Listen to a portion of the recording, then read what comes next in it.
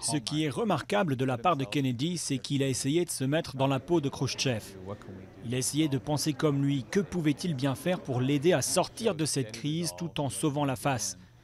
Il a montré qu'il était capable de garder le cap, qu'il n'allait pas abandonner.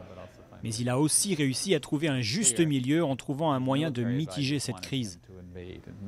Il n'y a aucun doute, ses conseillers militaires voulaient lancer une invasion. Ils l'ont accusé de chercher à apaiser la situation, ils l'ont accusé d'être trop faible.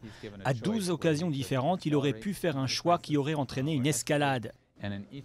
Et dans chacune de ces occasions, Kennedy a choisi une route différente.